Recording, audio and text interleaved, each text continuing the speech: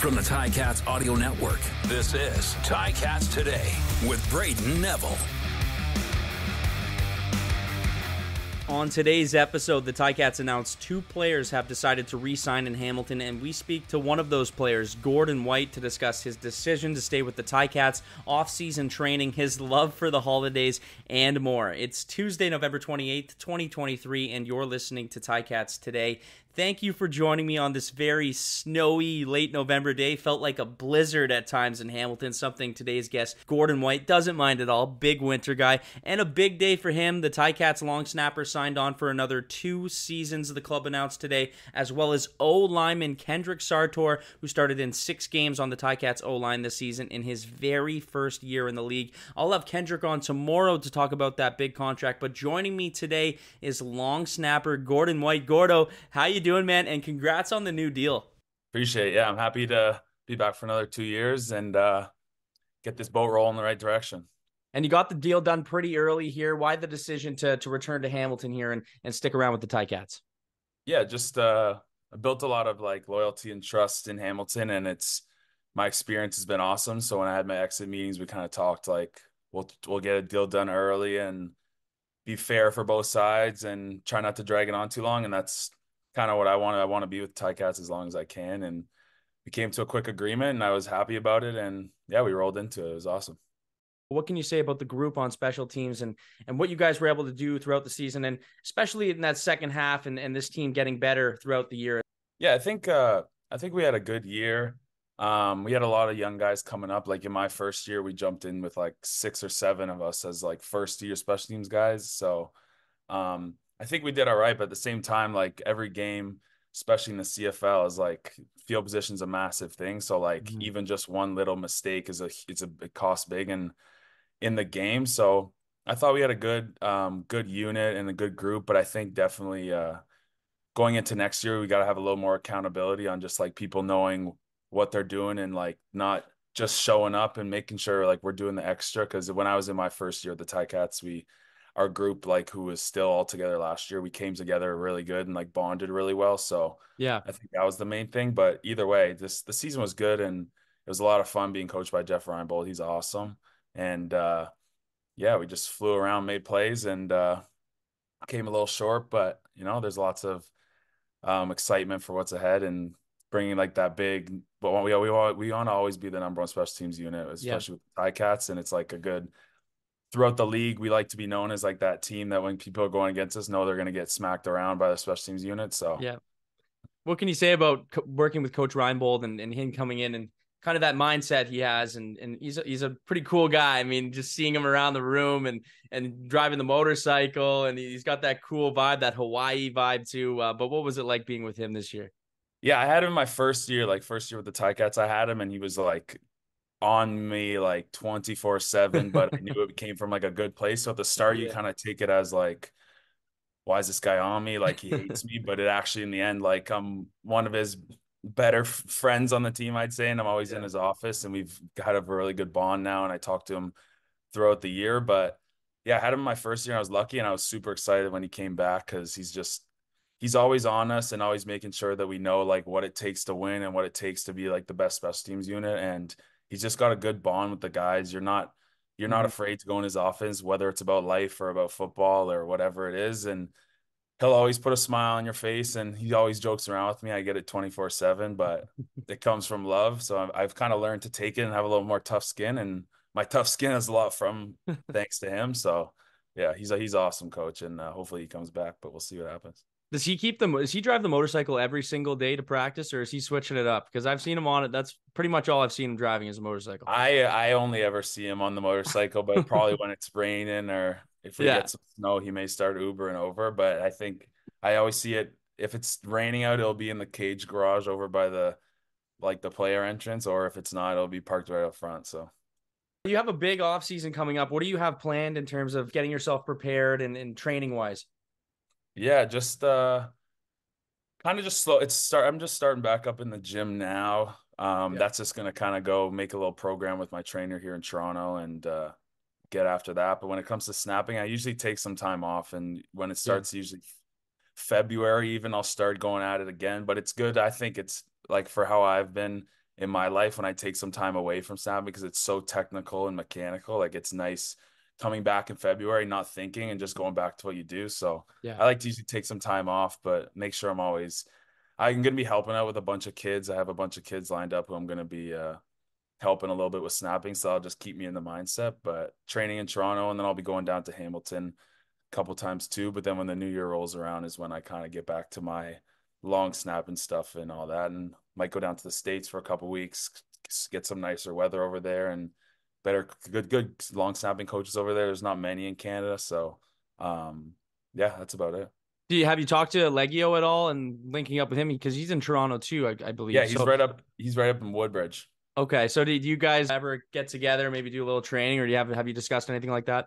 Yeah, we uh we actually play Call of Duty a lot together. We're we're both we're both taking this a little early off season to grind a little bit of the new Call Yeah. of Duty. So Me too. I'm on I'm on always with him every day. So we're we're definitely gonna get some stuff going in the new year together. And uh yeah, he's right up in Woodbridge in the Italian ends. And uh Of course. so I probably won't go up there because I don't belong up there, but we'll see. I'll, I'll definitely get him down here or we'll both go up near Hamilton or something. Who's leading the team right now? Is it you or Legs? Who, who's who's the guy?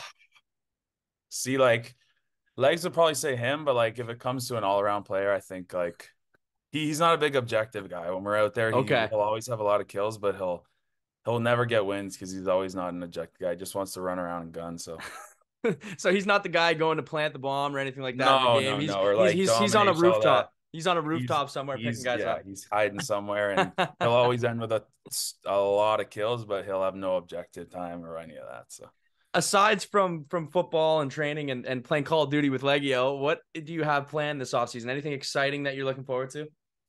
Um, I'm hopefully gonna travel. I'm trying to um, plan a little travel with my uh, girlfriend who I live with. She, um, hopefully go down somewhere in March. Yep. Try and go down to like all inclusive or somewhere in the states or just somewhere nice for a week and just relax a little bit. So, um, travel wise, that's it. And then I'll hopefully get down to the states for some long snapping stuff. But other than that, just like it's nice getting back because even though I'm in Toronto, where I like I'm from during the season, you don't get to see your friends a lot Yeah. and family too much. So make sure I take some time and see see my friends and family and uh yeah, just start kind of get your mind off football a little bit. And Yeah. because right when it rolls back around, it's 24 7. But definitely gonna try and get down to a couple Buffalo Bills. Shout out Yeah. my dad, he's a big Bills fan growing Bill, up. big so Bills guy.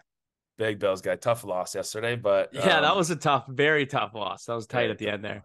yeah, just probably go down to a couple of those games and uh yeah, other than that, I'll just be kind of relaxing and hanging with my dog, and that's it. Not much. I know you were a multi-sport athlete growing up. Do you still play other sports? Do you still play hockey or anything like that, or, or is it strictly football? Um, yeah, I grew. I I played a ton of hockey growing up and a little Mhm. bit of lacrosse too. Um, I still have my hockey gear. Every once in a while, I get on the ice. Like, Yeah. my friends usually have men's leagues and like beer leagues that are kind of pretty uh competitive. So whenever they need an extra guy, they'll shoot me a message. So Yeah, if it's early enough, I I would get out there. But close to the season, I try not to because hockey's just you never know. But you never know. Yeah, yeah. early in the early in the off season, if they need me, I'm definitely out there and I get my hockey uh hockey mindset back and it's fun. So, but then obviously play shinny every once in a while when it gets nice out and when it gets cold and the rinks are nice. But yeah, I try and stick to hockey a little bit and make sure I'm my st- I still got the skill. You're a competitive guy. Are you just as competitive in beer league hockey as you are when you're uh, out in the field? One hundred percent. That's why it's dangerous because every time I go to play and I'm talking to my dad, he knows how competitive I am. He's like, you can't just turn off your competitiveness. Like Yeah. if one guy slashes you or one guy beats you, you're just gonna be like, all right, it's on. So he hates when I play, and that's why I don't play as much as I used to. But whenever I get out there, I'm excited and I take it like it's like my a championship game because I never get to play. So I go out there like fresh stick tape, everything. So You mentioned you're going to be helping with some kids. What's going on with that? Is it like a camp or? Yeah, so I, I'm I'm s- I'm slowly starting to uh, see how many kids in in the area would be willing because there's a lot of kids that have been reaching out to me about long snapping, and it's becoming a more of a thing that's noted by younger people, which is smart because Yeah. if you have a long career in CFL and it's if you can long snap on top of what you do, that's just an extra thing in your toolbox. So Yeah. I'm just kind of like I have so many kids that I like help out with one on one where I'll just go help them out, give them advice, and like just it's so much one on one. So I'm like, why would I not kind of might try and turn it into a little bit of a brand and uh Yeah. just see what I'm getting. So right now I'm kind of just information searching to see what kind of kids would be willing to maybe like once a week do a clinic. Um so I'm just slowly in the starts of that. So I won't say too much so I'm not Yeah. lying at all. Yeah, but, yeah, uh, for sure. Yeah, I'm just in like the process of seeing if I have a, enough like people that would want to do it to make it worth my while um and make it worth their while. Uh, But other than that, I'll just right now it's just one-on-ones. Usually like once every two weeks, once a week, I'll go meet with I have like three different guys who I just kind of help out when they need it. So if any kids are out there listening to this and they Yeah. want some I can help come into the DMs because happy to help and happy to uh I want to get the little bit of a brand going because I go down to the States and it's awesome out there and I'm like, well, I, I could probably could make something out of it in in Yeah. Toronto. So that's basically it. Yeah. Is that something you would have liked when you were young? Like, is that something you? I guess they probably didn't have that when you were growing up and, and playing football as a young kid. No, not at all. I was I was actually in my first year with the Ticats. I was self-taught still. Really? just Yeah. raw snapping. And then I finally went down to a a guy in Wisconsin, special teams you, and he's like a very mechanical, like how to long snap. And he like the video of when I started to when I ended four days later was like he's like, You are using too much movement.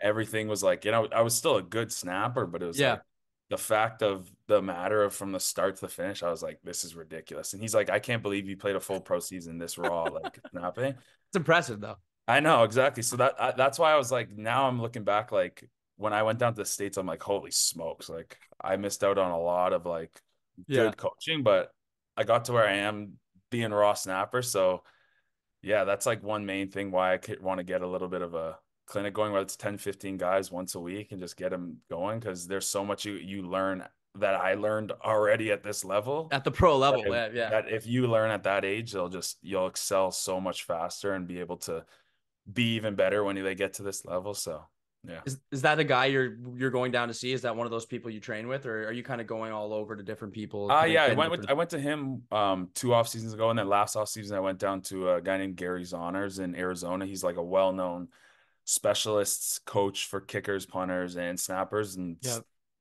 has a lot of NFL connections and stuff like that. So I went down, worked with him for a week, which was awesome. But there's so many, so I think kind of each off season I'm gonna poke my head into a different one, just because Yeah. when I was down there, they all tell me each coach is different in how they coach. So you kind of just got to find the one that you like the most, and then Yeah.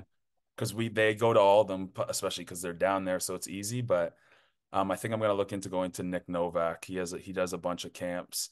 Um, I'm pretty sure in the Arizona area, so that's what I'll be looking into for this off season probably. Yeah, and the weather's not too bad either. If you want to go. Go down to Arizona, it's nice down there. Not man. at all. It's beautiful. Scottsdale, all that, all that area is really nice. I went down there last off season. It was kind of like cooler for them, but it was like beautiful for me. So I remember first day, these guys are all in sweatshirts, and I come out in like a sleeveless, and I'm like, this is amazing. They're all in sweatshirts and sweatpants. I'm like, this is like beautiful weather.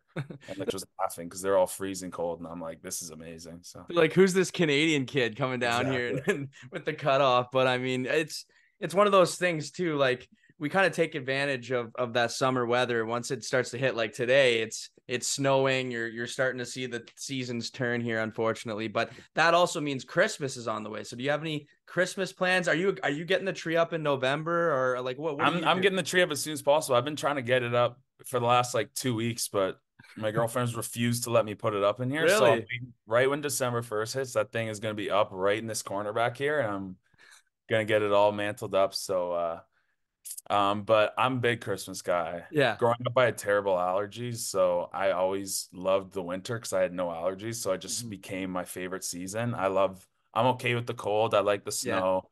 Everyone likes hot and sun. I like cold and snow. It's my time of the year. So, You're a true Canadian. oh yeah, and Christmas is the best. It's just the best vibes, best everything. Everyone's in a good spirits because presents are coming and gifts and seeing family and friends.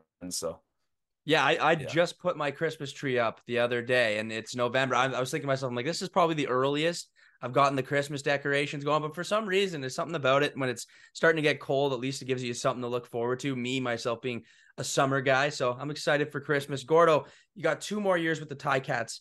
The goal is obviously the Grey Cup, but but next season, what do you think this team can do? yeah, it's there's a lot of like up in the air with the free agents and yeah, of course. like there's so much that has to be done. So I'm just happy I'm in the door and hopefully me resigning and guys see that, they hope that like Oh, we're yeah. trying to make a run. And like mm-hmm. I've been with the Ticats for three years now, and first year we went to the Grey Cup, and then the last two we lost in the first round. So like it's there. It's just takes that little bit more, whether it's in the locker room or just finishing on game day. Like I'm excited, and I know we're gonna bring a Grey Cup back to Hamilton, and that's what the fans deserve. That's what the team deserves. That's what I've been chasing since I got into the league, and I've been lucky to get that close already. So I know that feeling, and the feeling of defeat sucks, and I don't want to feel that. And I just hope uh, everyone, like in free agency, knows that Ticats got to make a run this season, and hopefully we can get all the firepower back. But I think we will, and I think uh, we'll be ready to rock for May.